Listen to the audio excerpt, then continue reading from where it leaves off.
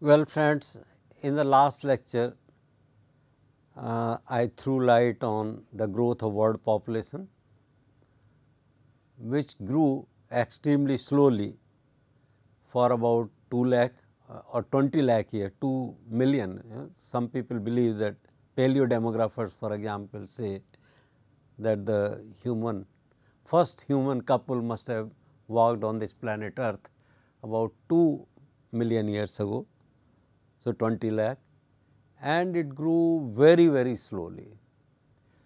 It was in 1820 for the first time that the world population reached the first billion mark. And then due to improvement in mortality in the developed countries, world population started growing to some extent. Mortality declined, fertility also declined, but at, at a lesser pace. So, there was some growth of population.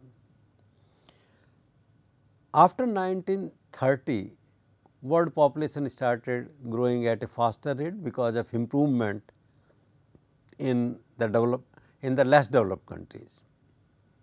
There was some improvement uh, in industrialization, economic development, nutrition, awareness, there was also more of international migration which led to improvement in socio-economic conditions and uh, freedom struggles in different countries. So, uh, mortality started declining. But the major impact of mortality decline was seen in 1950s and 60s when there was a sudden and very rapid decline in death rate in today's less developed countries. And the reason was mainly the control of infectious diseases. In that context, uh, demographers, economists, sociologists, they started talking of adverse consequences of population growth on development and some people on environment. Ehrlich uh, even went to the extent that he, he wrote a book with the title Population Bomb and uh, uh, attempted to say that there is a population bomb means rapid growth of population like a bomb exploding in less developed countries whose consequences would be much more painful than the consequences of drop of a hydrogen bomb. This was the situation. So, Malthusian theory which was given in 1798 and was rejected by Karl Marx and other socialist writers that again gain in importance and uh, uh, Coale and Hoover developed a mathematical model of economy in the context of India and showed that India would gain from reduction in fertility. Now, in this lecture uh, I am presenting the other view and this other view is championed largely by Julian Simon. So, I will mention about his book, I will mention about his ideas and uh, what these uh, Simon and others having similar views want to say basically that uh, development or growth of income does not depend so much on population, it depends more on the socio-economic institutions. The implied assumption is that uh, if necessary then population can be controlled, but you cannot uh, make intervention in the economy simply by controlling population. So, this is the view that is presented in these slides. Uh, these people take the view that the relationship between population and development is complex, contextual, depends on historical context, socio-economic context, cultural context, family, kinship and there is a symmetrical relationship. Uh, impact of population depends on capital, organization, technology. Organization is more important for them than uh, population uh, and there is two way relationship. There are both bad and good consequences of population growth. Bad we saw in the last lecture and this in this lecture we are talking more of good. There are no simple methodologies of measurement, simulation and drawing inferences. All the developed countries have low fertility, high life expectancy, a small or negative growth of population this is true and this is also true that uh, among the rest there is a negative correlation between development and fertility, but it is two way. Japan has a birth rate of 8, death rate of 11, negative natural increase and life expectancy of 81 for males and 87 for females. On the other hand, for a least developed country like Somalia, uh, birth rate is 40, 43 See the difference between 8 and 43. Death rate is 11 and growth rate is 3.2 percent and male and female life expectancies are 55 and 58. But there are some good consequences. So, while these figures show that uh, in poor countries growth rate is high, in rich countries or advanced countries growth rate is less. But it does not mean that there is a universal and a necessary connection between population and development and is one way. No, it is not one way, it is two way and it is complex. There are some good consequences of population growth too, labor force, political power. China is number 1 in population and therefore, enjoys political power also uh, across the world expansion of market. Today's economic growth depends on the, there is more fight for market actually and uh, growth of population leads to market. The book by Julian L. Simon I was referring to is the ultimate resource and there are some other books and essays uh, some published in Population and Development Review, the famous Population Council Journal Population growth leads to innovation, ingenuity, drive, creativity and substitution and Simon believes that because of these factors growth of population will always be good. It leads to improved technology and nuclear power and life expectancy improved and all prices fell. The fact that in the world growth of population even in 50s and 60s have been associated with more resources, more energy per capita, more consumption of energy per capita, falling prices and uh, all round development cultural, educational, economic, social shows that population growth has not been a hindrance. This is the title of the book and Julian Simon was professor at University of Maryland and he attacked Malthusian theory and the Club of Rome report according to which population growth can be disastrous. The thesis that uh, Simon proposes is that data prove that the socio-economic system is the main determinant of economic growth. And by socio-economic system, one, one of the major factors of, of one of the categories you can make of socio-economic institutions is whether they are capitalist or they are socialist. There is a little other variation in developmental rates that might be explained by population growth and by taking examples from different countries and different times he wants to prove this point. He was a professor of business administration at Maryland as I said. Simon is best known for his work on population, natural resources and immigration. His work covers cornucopian views on lasting economic benefits from natural resources and continuous population growth empowered by human ingenuity, substitutes and technological progress. He is also known for the famous Simon Ehrlich wager, a bet he made with ecologist Paul Ehrlich, the person who wrote population bomb, Ehrlich bet that the prices for five metals would increase over a decade because of greater demand, because of population growth, while Simon took the opposite stance that prices would fall because of human creativity, ingenuity and uh, developments. Uh, Simon won the bet as the prices for the metals sharply declined during that decade. Major contribution of Simon in the field of population, one is this 1981 book, The Ultimate Resource. It is a criticism of what was then the conventional wisdom on population growth, raw material, scarcity and resource consumption. Simon argues that our notions of increasing resource scarcity ignore the long term decline in wage adjusted raw material prices. Viewed economically, he argues, increasing wealth and technology make more resources available. So, there will be no scarcity of resources, because technology can make more resources of a different kind available.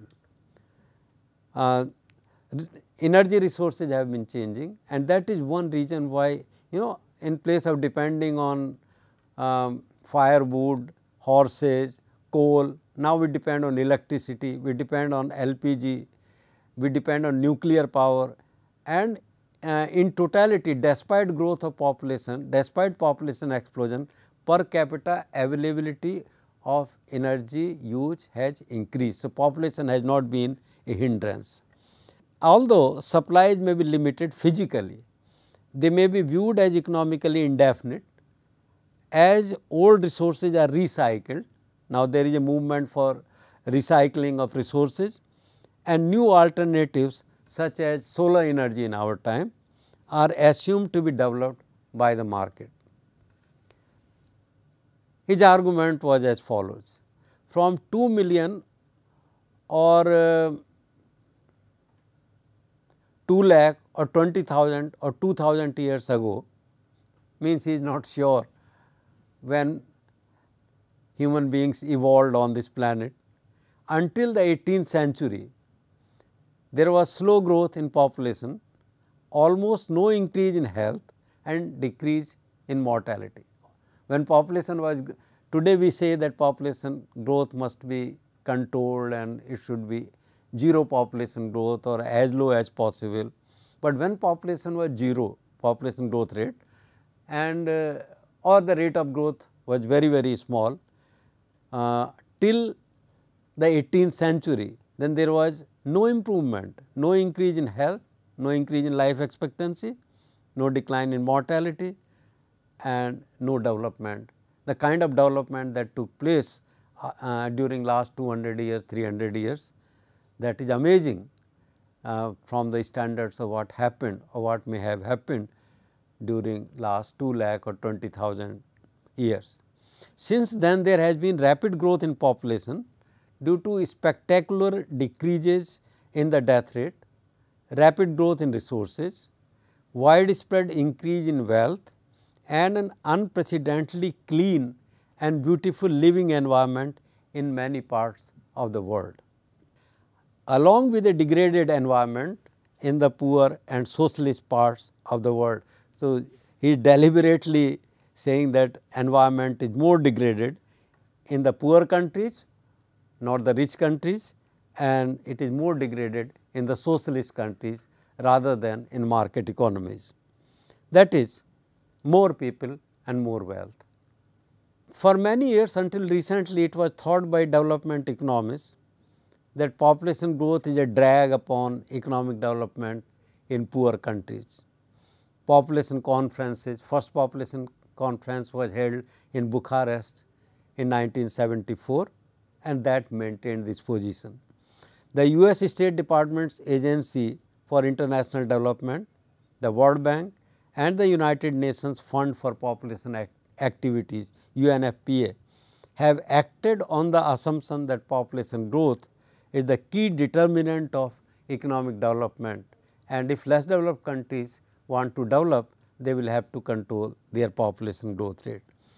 this led to misdiagnosis. According to Julian Simon, this led to misdiagnosis of such world development problems as supply of natural resources, starving children, illiteracy, pollution and slow growth and population funds wasted. Population funds he is referring to funds spent by UNFPA and other organizations on controlling population growth in the developing countries. Julian Simon's cornucopian explanation is this two things. First, there is persuasive explanation for why some countries grow faster than others and the explanation has nothing to do with population. This factor leaves little room for population growth to be the cause of slow growth. It is difficult to maintain the position that world's developed countries have grown or they have become developed simply because uh, they control their population. And less developed countries are lagging behind because of rapid population growth. Actually, there are so many political economic theories uh, including uh, the theory of uh, chain of exploitation, the uh, world system theory, we show that political and economic factors or chain of exploitation or the relationship between core and periphery, these kinds of factors have been more responsible for development. There is not one single theory of development. Second, there is persuasive direct statistical evidence that population growth is not associated negatively with economic development in the short or intermediate run and may well be a positive influence in the long run. In the very short run, additional people are an added burden, sure. Coale and Hoover also accept this. But under conditions of freedom, liberty, population growth poses less of a problem in the short run and brings many more benefits in the long run than under conditions of government control. Simon was attacking the capitalist kind of institutions and was favoring uh, socialist countries. There is another uh, important name here uh, Raymond Gastil. He also said something similar. He graded each nation on three measures of liberty. They are all libertarians and give more importance to market, individual decision making, rationality rather than institutional controls. And uh, these three liberties are political, civil and economic. His thesis is that wherever these liberties are more, there is a rapid growth of development. Economic liberty comprises two sub measures, the extent of government intervention in market and the level of personal economic liberty. Gerald Scully related Gastil's data to economic results. Allowing for other relevant factors, he finds that there is a strong relationship between each of the three liberty variables means political, civil and economic and the rate of economic growth during 1960 to 1980 among 115 nations. So, he took a sample of 115 nations and found that each component of liberty, each dimension of liberty political, civil and economic was associated with economic growth. Nations characterized as politically open, individual rights and free market had an average growth rate per capita of 2.73 percent and those characterized as politically closed state rights and command economy had an average growth rate of 0.91 percent. This is a huge difference in performance. Three nations Germany, Korea and China were split into socialist and non-socialist part, producing three pairs of countries whose numbers began with the same culture and language and history. The members of the pairs also had much the same standard of living when they split apart and the same birth rates. Their subsequent histories enable us to determine the effect of economic system, because it is the only relevant variable according to these people economic uh, system is the only relevant variable which explains rate of growth of income or development. Data prove that socio-economic system is the main determinant of economic growth. There is little other variation in developmental rates that might be explained by population growth.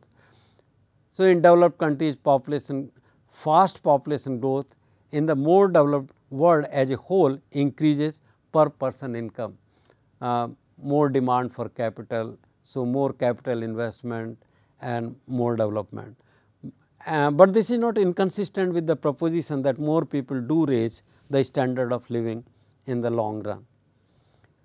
Population growth contributes to desire to be more productive, intellectual fecundity, innovations, you want to earn more because you have to support a large family. Especially in the agricultural settings, this has been noticed in several countries. Education, urbanization and change, social change, increased trade and consequent growth in cities. The events in the Eastern Europe in 1989 and 1990 will open minds of the irrelevance of population growth for intermediate run economic development and to the all importance of the social and economic system. Largely family is a drive for expanding food production. I said in agriculture sector a large family can be an incentive for working harder and therefore, for development. And this was clearly articulated by Esther Boserup who was a Danish economist. He argued that in agricultural societies population growth may also lead to improved productivity through a drive for expanding food production for a large family. This is Boserup's model. With time, population grows, this red line and food also grows. He believed that in agriculture sector, food production will grow with growth of population. The relationship is contextual between the two the relationship is contextual. Uh, large countries may also look for regional policies. This means contextual means that large countries may look for regionally differentiate, differentiated population policies as it was done in USSR. USSR was a socialist country and still they did not have a uniform policy for the entire um, republic in European part fertility was less and development was also less. Uh, in Asian part uh, fertility was high, development was less. So, they went for without uh, bothering about that this may create religious conflicts and all, they decided that they will start family planning programs in Asian part and encourage fertility in the European part. Uh, Actually, uh, what uh, Julian Simon wanted to say that population although he forcefully said that population growth can be conducive to economic development. But I think his major point was that it is the nature of socio-economic institutions which affect the process of economic development. Uh, he, he compared different countries, he looked at prices, he also looked at case studies as of China. China was a communist country and uh, initially when communism was uh, implemented strictly, there was collective control of farms, there was starvation, very slow rate of growth of food. When the economy was uh, liberalized as we know that China became a power in the world not by enforcing communism so much by it, it was by adopting a mixed economy. So, when China liberalized its agricultural policies and moved uh, farmers from agriculture sector to non agricultural sector industry, and made individuals the owners of their farm, then uh, the uh, then the starvation they were suffering from ended and there was much more growth in agricultural sector. So, it is liberty, creative freedom, they give more importance to liberty, political liberty, economic liberty, social liberty. Wherever there is more liberty, then uh, there is more development and wherever there are more of controls as in communist regime in so called socialist regimes uh, that affects development adversely irrespective of population trends. So, this is what these people say that uh, population trends may play some role, but not much. The major factor, the major determinant of development is um, the institutional situation, whether a country, uh, whether a state controls everything or whether a state is such that there is more liberty, political, economic and social. These people are more in favor of liberty and they show that historically or cross sectionally population growth has never proved to be a problem, population growth can be good also. So, we have seen both the points of view one Malthusian and another libertarian as of Julian Simon. Thank you.